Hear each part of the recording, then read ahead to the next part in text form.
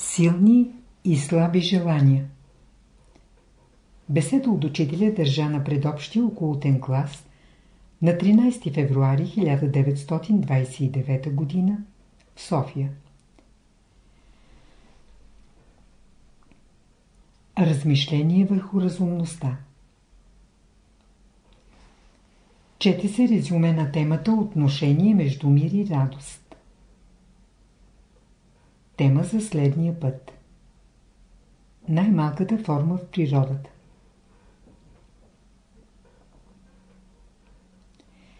За какво мисли гладният човек? За хляб. За какво мисли болният? За здраве. От тук можем да извадим заключението, че при известни случаи в живота всички хора си приличат. Ако влезете в салона, в който избират най-красивата мума, всяка от присъстващите муми мисли едно и също нещо, че ще бъде избрана за първа красавица. Интересно е човек да изследва своите желания, като започне от силните и постепенно върви към слабите. Като изучава желанията си, човек се натъква на случай да желае такива неща, каквито никога не е допущал. За пример. Срещате един образован човек, който търси работа. Тук похлопа не му отварят, там похлопа не му отварят най-после е отчаян и обезсърчен. В него се заражда желание да пръкне в касата на някой банкер и да извади оттам една сума. Той започва да си представя как банкерът седи на стол и брои златни монети. Като ги преброи, той ги туря пак в касата си и я заключва. Това поддържа в него мисълта, че тия пари не са само на банкера, но и той има право да вземе няколко златни монети да подобри положението си. Ако извади пари от касата на банкера, в първо време работите му ще се нарият добре, но последствията на тази постъпка ще бъдат лоши. Ако не го хванат, ще дойде ден, когато и с него ще постъпят по същия начин, както той е постъпил с банкера света съществува закон на периодичността. Според този закон, каквото човек прави по отношение на другите, след известен период от време, същото ще се върне и към него. Това показва, че между силите, които действат в природата, има известно отношение. Тия сили зависят от ред причини. За пример. Ние не знаем защо, след като се заповяда на човека да не прави това или онова, както Бог заповядал на Адам и Ева да не ядат от дървото за познаване на доброто и злото, защо след това иде изкушението? Защо трябва човек да се подлага наред изкушение? Докато Адам бил сам в рая, никаква заповед не му била дадена. Щом се явила Ева, веднага заповедта дойде. Въпреки това Бог е знаел, че те няма да устоят, че трябва да напуснат рая и да излезат вън от него, дето ги чакат нещастия и страдания. Защо е станало това, не знаете. Много неща можете да предполагате, но предположението още не е истина. Едно е забелязано в живота. Докато е сам, човек не е изложен на изкушение. Свържи ли се с някой човек, изкушенията идат едно след друго. Един млад, добър, морален момък живял със стремеж към красивото. По едно време той среща млада, красива мума, влюбва се и решава да се ожени за нея. Обаче и двамата били бедни. Момата искала да има хубави дрехи и да живее охолно. Момъкът бил готов да й достави всичко, каквото пожелае, само да я вземе за своя жена.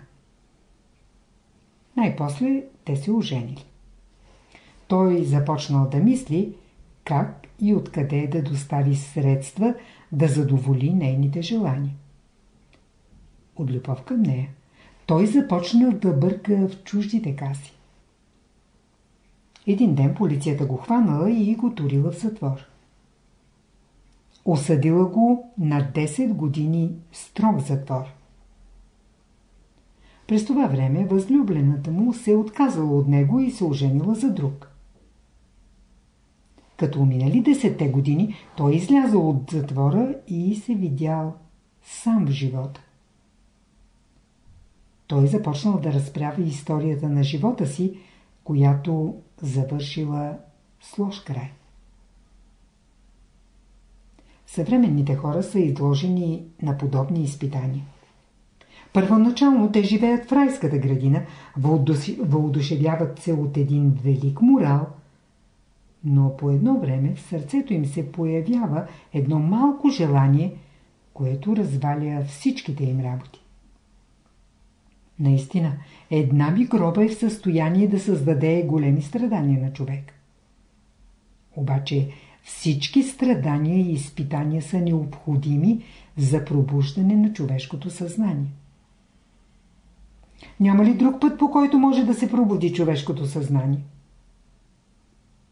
За сега природата си служи със страданията като метод за пробуждане на човешкото съзнание. Няма човек в света, който да може да избегне страданията. И светиите, и пророците минават през страдания. Техните страдания са по-големи от тия на обикновените хора. Щом е дошъл на земята, човек неизбежно ще страда.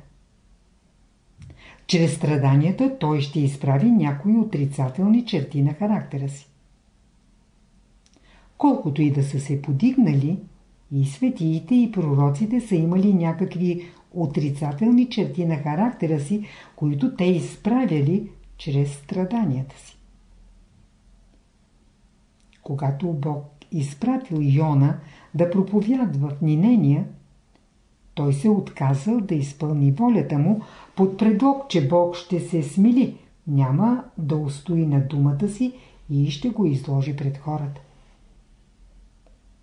Затова Йон си взел билет, качил се на един кораб и тръгнал за Испания.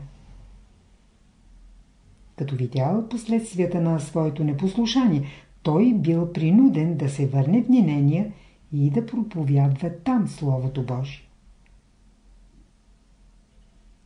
Пророк Еремия пък казва Зарекох се вече да не говоря. Защо? Защото намира, че хората няма да послушат думите, които Бог говори чрез него. Същевременно хората казват, че Бог може да направи всичко. Как е възможно тогава Бог да праща някой пророк да говори на хората, а те да не го слушат? Други пък казват, че Господ говори и учи хората отвътре. Ако наистина Господ говори само отвътре, защо праща пророци да говорят на хората отвън? И за Христа казваха, че е изпратен от Бога. Тогава защо Господ изпрати Христа при хора, които не го разбираха? Това са положения, които създават противоречия на хората. Те сами не могат да си обяснят кое е право и кое не. Те сами не знаят в какво да вярват и в какво да не вярват. Преди години срещам един човек, пишещ медиум. Чрез неговата ръка си изявяваха духове и пишеха. Той сам виждаше това, но не вярваше, че има духове. Той мислеше, че пише това, което минава през ума му. Между поетите, които пишат, и между неговото писане, той намираше следната разлика. Поетът пише когато пожелае, а аз пиша под чуждо влияние. Той вижда, че друг някой му диктува, но не вярва в съществуването на духове. Понякога започва да дращи с перо върху хартията, но след време някакви мисли се оформят в ума му и той пише. Като изучава своите мисли, чувства и желания, човек забелязва, че уния от тях, които са по-силни, се очертават по-ярко, а по-слабите едва се очертават. Силните мисли и желания на човека хвърлят отпечатък върху организма. Ако отред поколение насам някой човек е бъркал в чужди каси и чобове, в този живот той ще се роди с дълги ръце и пръсти. Който не разбира значението на дългите ръце, мисли, че те са признак на голяма сръчност. Ученият обаче не се лъже. Той знае, че сръчността на този човек се дължи на способността му да бърка в чуждите каси. Достатъчно е ученият да погледне очите на човека, за да се произнесе кога се е родил – сутрин или вечер. Който има големи и отворени очи, той се е родил вечер. Който има малки очи, той се е родил през деня, когато слънцето е греело силно. Това не става само при раждане. И в последствие човек може да разшири очите си, да ги отвори повече, отколкото първоначално са били отворени.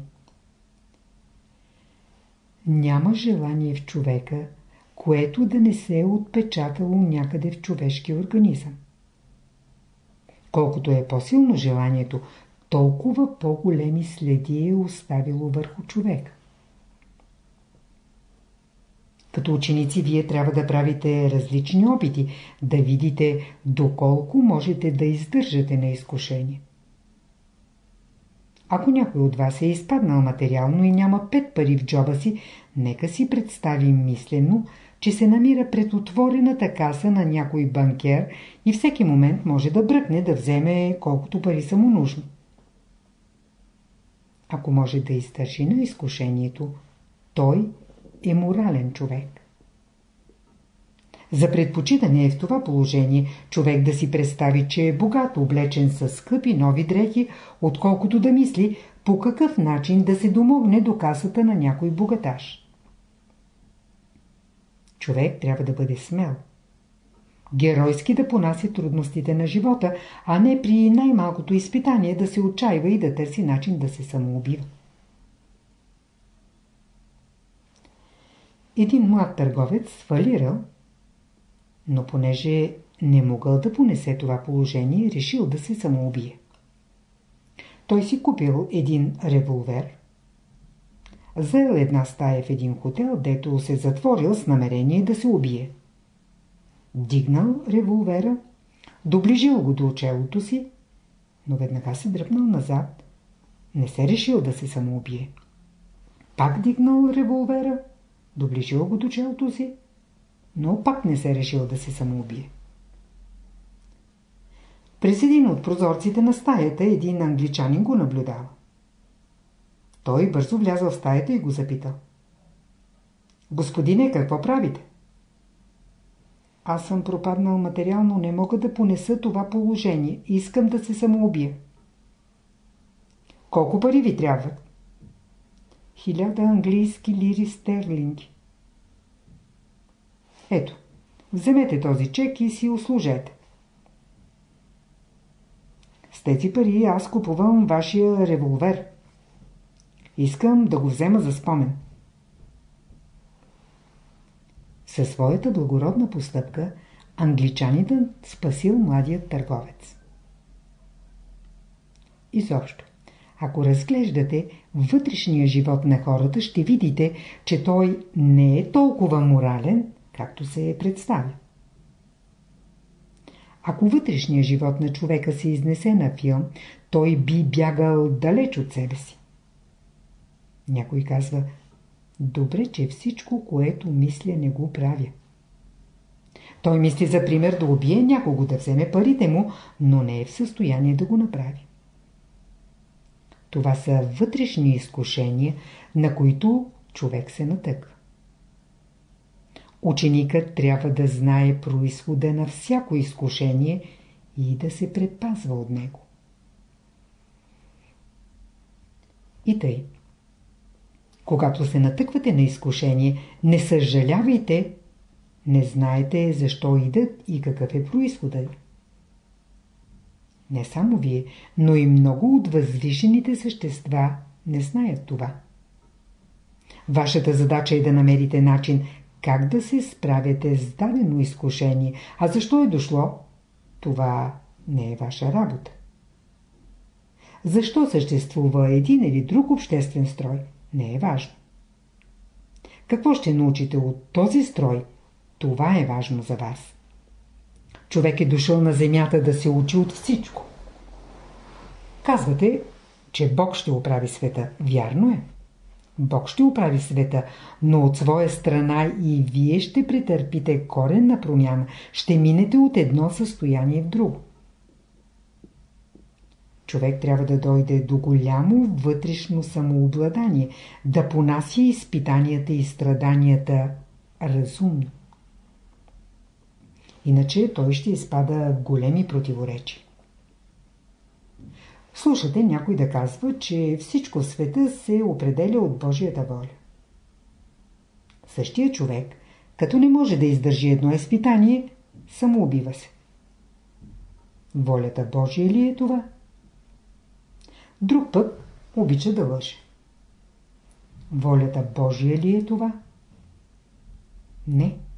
Самоубийствата, кражбите, лъжите, престъпленията те стават по човешка воля. Хората се женят, раждат деца, събират се на едно място, все по своя воля, по някакъв вътрешен стремеж. За да дойде до положение да върши нещата по божествен пот, човек трябва да е минал през големи изпитания. След това само той ще започне да разбира волята Божия и да я изпълнява. През големи изкушения ще мине човек, докато разбере волята Божия. Той ще търси красиви муми и момци, но космите на главата му ще изпадат от тях. Не е лесно човек да задоволи изискванията на красивата мума. Един княжески син се оженил за една красива мума. Тя била много взискателна. Князът се чудил как да задоволи нуждите. Той се видял в голямо затруднение. Колкото пари имал, всичките отишли по нея. Най-после му дошло на ум да отиде при царя на гномите да му иска пари на заем. Какво ще ми даде срещу това? Готов съм роб да ти стана. Не казвам да ми станеш роб, но срещу всяка турба злато, която ще ти дам, искам по 10 косама от главата ти. Лесна работа. Ето още сега вземи 10 косама. Радостен, той взел турбата с злато и отишъл от дома си. След десетина дена турбата се изпразнила. Той пак отишъл при царя на гномите, дал му 10 косама от главата си и се върнал с турба, с турба пълна с злато. Това продължило десетина години. Един ден князът трябвало пак да отиде при цари на гномите, да получи турба с пари, но се видял в невъзможност да направи това, понеже нямал нито един косъм на главата си. Както виждате, скъпо струвала издръжката на тази красавица. Един американски милиардер се оженил за една красива мума. Като отишъл с нея на разходка в Париж, тя се е впуснала в харчене, след което му представила грамадна сметка. Като видял това, той разбрал, че тя ще го съсипе материално и решил да й даде 30 милиона долара, но да се освободи от нея. Наистина, той успял да се освободи от нея, но в скоро време я заместил с друга красавица, която го поставила в същото положение, при която при което го поставила и първата. какво заключение можем да извадим от този пример? Заключението е, че това, което става вън от човека, преди всичко става вътре в него. В човека има такава, такива силни желания, които са в състояние да погълнат красивото и възвишеното в него и да го разрушат. Човек трябва да знае, че външната красота, към която се стреми, не се отнася към моралния свят. Тя не е резултат на моралното в човек. Да бъде човек само външно красив, това е резултат на човешкото в него. Външната красота е най-високото положение, до което човешкото може да се изяви. Не само в хората, но и в животните, и в птиците, и в пеперудите има стремеж към красотата.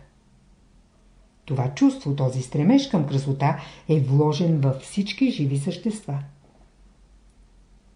Външната красота обаче не подразбира още и вътрешна красота, която почива на нещо високо морално в човека, на голяма устойчивост.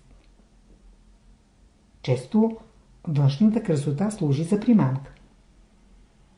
Едно от отличителните качества на света е неговата външна красота. Външно светът е красив, величествен, следствие на което изкушава хората. Ако става въпрос за красота, търсете я в света. Ако става въпрос за хармония, търсете я на небето. Обаче красотата на света е повече външна. Ако се вгледате в едно красиво човешко лице, ще забележите в него желания, които нарушават красотата. В тия желания няма нищо морално. Човек още не е изработил своето лице. Казва се, че човек е създаден по образ и подобие Божие, но това се отнася до първия човек. Впоследствие обаче, след грехопадението, човек е изгубил красивото, онази вътрешна хармония, онази вътрешна симетрия, която Бог първоначално е вложил в него. Истински красива мума е онази, която може да отклони и най-големия крадец от желанието му да краде от чуждите каси. Истинската красота е тази, която е в състояние да отклони човека от желанието му да върши престъпление, да се обижда, да се огорчава и т.н. нататък. При вида на тази красота, човек трябва да е готов на всякакви жертви. Красота, която подтиква човека към кражби, престъпления, обиди, не е никаква красота. Съвременните хора се обиждат за нищо и никакво. Това говори за отсъствие на устой в техните постъпки. Човек трябва да бъде честен и морален в отношенията си. Ние наричаме честен човек онзи, който в отношенията си с хората е точен и изправен. Честност и морал не са едно и също нещо. Външно човек може да бъде честен, а вътре в себе си да има някакви користолюбиви желания. Обаче, ако човек едновременно е и честен, и морален, той разбира вече Божиите закони и живее съобразно тях. Такъв човек може да се нарече красив. Тази красота задоволява човека и повдига духа му. Истински красивият никога не помрачава лицето си. Той знае, че добрите му желания ще се реализират, затова има търпение да чака времето на тяхното реализиране. Моралният човек е доволен от положението си, от това, което му се дава. Ако на всички дадете по една голяма красива ябълка, а на него дадете последната и най-малката ябълка, той ще бъде доволен, ще се радва, както и другите се радват на своите големи ябълки. Когато иска да възпита човека, природата го подлага на различни изпитания. тя то го лишава от известни блага, то го поставя да живее при изобилие на блага. Ако при оскъдните условия на живота той ходи бос, окъсан и се оправдава с това, че живее за Бога и не се интересува от външността на нещата, той не говори истината. Истината седи в това, че този човек или не обича да работи, или няма стремеж към красивото. Ако пък живее в разкош и не използва разумно благата на живота, той не е умен човек. За кого се облича момата? За момците. За кого се облича търговецът? За клиентите си. Човек се трябва да живее за някого. Когато изгуби вътрешния стимул на живота си, човек отпада духом и напуща своята външност, става небрежен към себе си. Когато учени и философи се увличат в мисълта си и стават небрежни към себе си, до някъде са оправдани. Но когато обикновени хора подражават на тия философи и учени, те стават смешни. Защо? Защото нямат ума на учените хора. Човек става смешен, когато подражава на другите хора. Външно човек трябва да представя себе си, т.е. това, което се крие в него. Пазете се от подражание. Често и религиозните хора подражават на други, вследствие на което изпадат в смешно положение. Човек трябва да се стреми към божествения живот, който ще го освободи от преходното и ще му даде възможност да се домогне до истинската наука, до положителната наука на живота. Това не се постига с молитви. С честите си молитви, с големите си добрини, с многото искания, хората дотягат на Бога. Преди всичко те не знаят доколко техните желания трябва да се реализират. Има желания, които трябва да се реализират, но не всички. Като не разбират на кои желания трябва да дават ход и на кои да не дават, хората изпадат в големи противоречия. Често мислите на хората така се объркват, че те трябва да приложат алхимията, да отделят потребните от непотребните. Някой се хвали, че молитвата му била приета от Бога.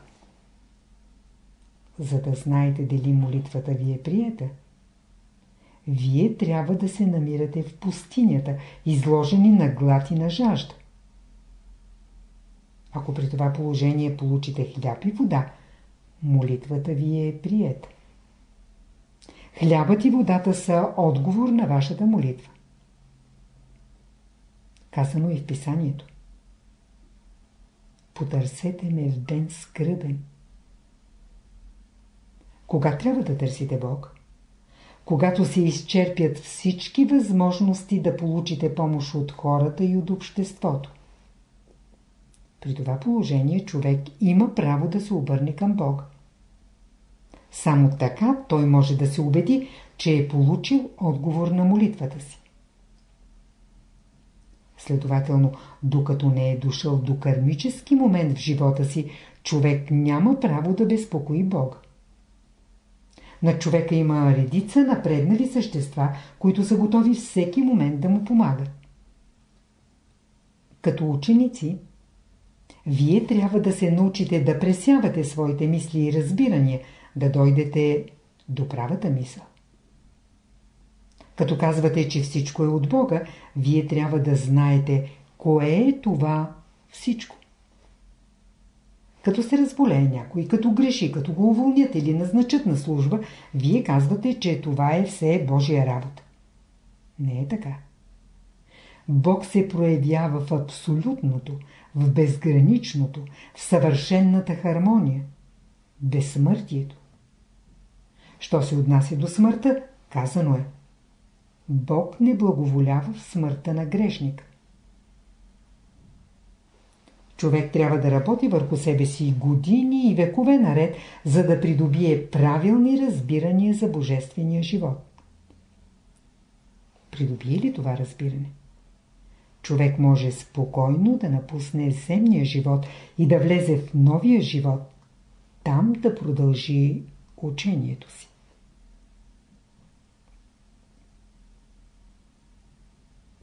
Божията любов носи щастие. Божията любов и Божията мъдрост носят пълното щастие. Божията любов, Божията мъдрост и Божията истина носят всичкото щастие.